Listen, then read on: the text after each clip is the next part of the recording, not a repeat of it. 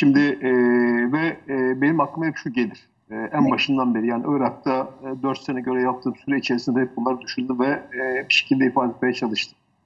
E, Irak'ta da e, bir Karabağ destanı yazılabilir.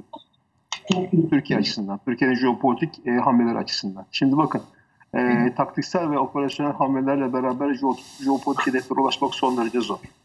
Ama bölge jeopolitiğine uygun, hakkaniyete dayalı hamleler yaparsanız e, iş çok farklı bir noktaya gidebilir. Kimse de size bir şey söyleyemez. E, bahsetmiş olduğum mesele e, 2003 yılından beri yok sayılan Türkmen kardeşlerimizdir. Şimdi e, 2003 işgalle beraber e, sanki Irak'ın yüzde e, 8 ila 10'unu oluşturan Türkmenler yokmuş gibi davrandı Amerika Birleşik Devletleri. Bu son derece bilinçli bir e, siyasi ve stratejiye karşılık geldi. Ama varlar. Hala varlar. Ve e, biraz önce Hasan Hocam söylerken ben e, sözün arası girerken aslında onu ifade etmeye çalıştım. Önemli, önemli olduğu için. Şimdi e, bir proje var karşı karşıya kaldığımız. Bütün coğrafyayı e, ve ülkeleri parçalamakla tehdit ediyor. Ve eğer önü alınamazsa bu olacak. Gerçek yani. Sonuçta bizim e, yaşamış olduğumuz badireler, geçmiş olduğumuz e, karanlık dehlizler bize bunu gösteriyor. Yani biz eğer e, çok büyük, çok ağır bedellerle bunları engellemeye başaramamış olsaydık bugün e, niyetlendikleri e, o ihtiraslı hedefe ulaşmış olacaklar. Bu gerçeği görüyor olmamış, olmamız gerekiyor. Ama şu ana kadar vermiş olduğumuz şehit sayısı belki 20 bini aştı. E, bölgedeki insanların can kayıplarıyla beraber belki rakamlar sadece Türkiye'de 80 binlere ulaştı ve 1 trilyon dolardan fazla para harcamak zorunda kaldık. Sırf bu karşı karşıya kalmış olduğumuz tehdidi kendi topraklarımızdan uzaklaştırabilmek için. Evet belki uzaklaştırdık ama e, karşılığında bir başka temel gerçekle karşı karşıya kaldık. Şu an 130 bin civarında PKK'lı terörist Suriye'de e, kullanılacakları yeri ve zamanı bekliyor. Böyle bir temel gerçek var.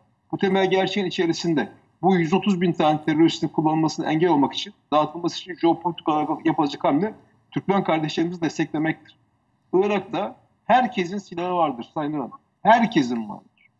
Bir tek Türkmenlerin yoktur biliyor musunuz? Bir tek Türkmenlerin silahlı gücü yoktur. Ve bunu e, sadece idare bir takım imkan ve kabiliyetler çerçevesinde e, kullanmaya çalışıyor. Yani bu, bu açıdan baktığınız zaman Irak, Irak'ta yapılacak Geç mi kaldık? hamlelerden bir tanesi. Sayın Irak, Ağar, Irak, hayır. Siz Sayın Yavuz Aslan dedi ki şu Dicle Kalkanı'na dedi 2018 değil de 2014'te yapsaydık. Bu Türkmen bölgesini... Şimdi bakın ben, ben öyle kesinlikle umutsuz, umutsuz falan değilim. Ee, ben hiçbir zaman öyle konuşmadım. Ben her zaman Türkiye Cumhuriyeti Devleti'nin karşı karşıya kaldığı riskleri hesaplayarak, göze alarak her türlü hamle yapabilecek bir irade ve güce sahip olduğunu biliyor. Ha, bu, bu karşınızda kim var? Bakın e, Karabağ'da da karşımızda birileri vardı. Fırat Kalkanı'nda da karşımızda birileri Tabii. vardı. Barış Pınarı'nda da birileri. Her zaman karşımızda birileri olacak. Libya'da da karşımızda birileri var. Şimdi bu karşımızda birileri var diye biz geleceğimiz ipotek altına alacak bir takım eylemlerin gözlerimiz işte baka baka gelişmesine izin mi vereceğiz? Bir diğer tarafıyla son derece büyük bir haklılık var. Aynı Karabağ'da olduğu gibi. Yani oradaki yani e, Mendeli ve Beyazıt'tan başlayıp Telafere kadar, Telafere kadar uzanan kuşaktaki Türkmenlerin hakları ne olacak? Şimdi bununla ilgili Türkiye şu ana kadar son derece ılımlı bir politika izledi. Bundan sonraki evet. süreçte daha agresif bir politika izleyebilir Türkiye. Bu agresif evet. politika ile beraber Türkiye orada oluşturmaya çalışılan o yani bir kere mesela şöyle de bir gerçek var. Bakın burada en çok acıyı çeken Kürtler aslında. Kürt kardeşlerimizin Kürt kardeşlerimize musallat oldular. Onlara bir takım e, yıkıcı, bölücü, ayrılıkçı ihtiraslar e, empoze etmeye çalıştılar.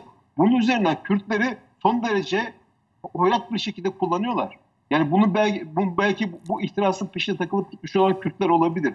Ama bu Kürtlere tatlı bir gece, tatlı bir rüya göstermeyecek Sayın Hanım. Yani evet. burada dört tane ülkeyi parçalayarak siz nasıl hangi hangi güçle ve kuvvetle Amerika Birleşik Devletleri'nin, İsrail'in veya başka bir ülkenin, ülkenin marifetiyle böyle bir burada büyük bir kan akacak. Ve bu, bu kan bu kanda en çok Kürtlerin kanı akacak. Bu bir tehdit falan değil. Bu bir bu bir bu bir vaka gerçeklik. Şu ana kadar yaşananlar bundan sonra yaşanacakların bir ispatı aslında. Evet. Bu temel gerçekler üzerinden ben Türkmen coğrafyasının desteklenmesinin gelecekteki ortaya çıkabilecek risk fotoğrafları ortadan kaldırmak açısından son derece önemli olacağını düşünüyorum. Ee, sayın peki. Ha, şey, şeyi söyleyeyim. Buyurun. buyurun. 200 kilometre. Yani eksik, soruyu sormuşuz eksik kalmasın. Yani bataryasının, bataryasının gücüne bağlı olmak üzere şu an 200 kilometreye kadar menzili olan e, ma- maket uçaklar, model uçaklar var YPG PKK'nın elinde.